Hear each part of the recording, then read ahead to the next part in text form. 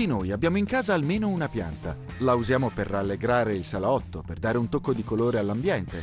E il nostro rapporto si limita a questo, fornirle della luce e versarle dell'acqua ogni tanto.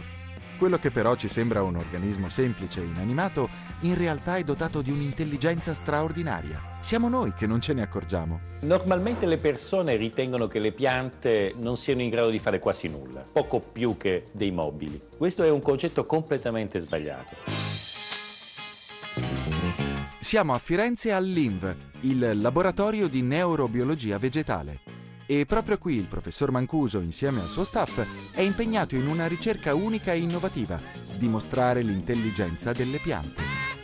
Qui abbiamo una pianta in cui sono stati inseriti degli elettrodi nelle foglie e nel fusto, simili agli elettrodi che si utilizzano in campo umano, per esempio per la misura degli elettrocardiogrammi o per gli elettroencefalogrammi. Ma se questa strumentazione misura l'attività cerebrale di noi umani, applicandola a una pianta, cosa succede?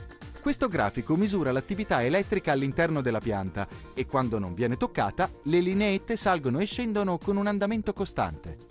Quando però il professore stringe una delle foglie, è come se la pianta sentisse qualcosa tanto che il campo elettrico subisce una variazione importante.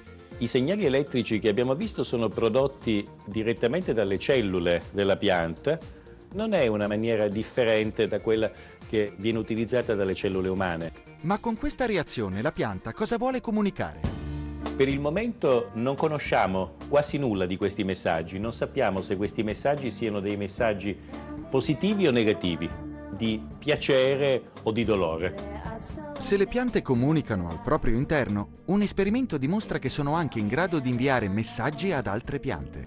In tutti e due i contenitori ci sono delle piantine di mais. Al momento tutti e due questi gruppi di piante sono in condizioni ideali. Hanno l'umidità giusta e soprattutto l'ossigeno che permette loro di crescere.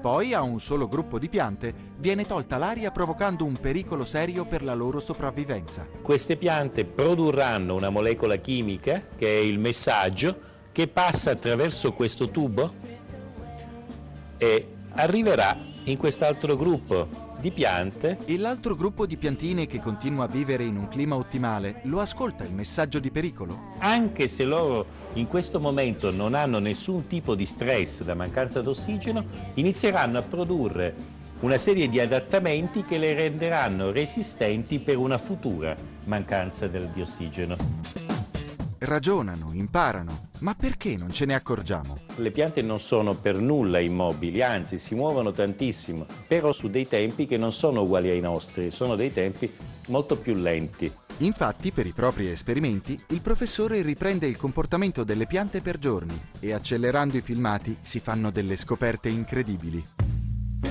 Quello che stiamo vedendo qui è un seme di mais che ha prodotto una singola radice e il movimento che vediamo è un movimento simile a quello di un bruco o di un serpente o di un verme, cioè qualunque animale non abbia le zampe e si debba muovere ha un movimento del genere.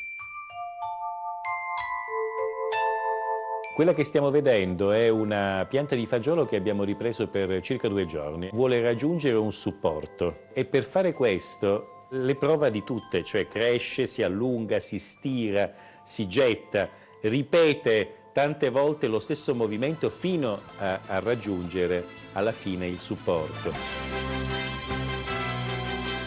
Noi non sappiamo per come faccia la pianta a sapere dove è il supporto, ma lo sa sempre e immediatamente è in grado di individuare il supporto e di dirigervisi. Normalmente quando devo convincere qualcuno che le piante hanno delle capacità cognitive mostro questo filmato.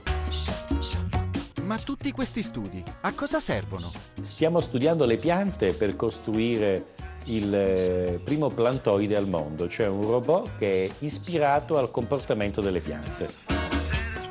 Questo robot cercherà di imitare le piante lì dove le piante sono più brave rispetto agli animali, per esempio nell'esplorazione dei suoli. Originariamente eh, era stato ideato per l'esplorazione spaziale. Centinaia di plantoidi arriveranno, speriamo, un giorno su Marte metteranno le loro radici meccaniche nel suolo e ci manderanno quindi informazioni sulla composizione del suolo, sulla presenza o meno per esempio di vita, di acqua o di particolari elementi eh, minerali. E adesso chi ha il coraggio di mangiare un'insalata questa sera?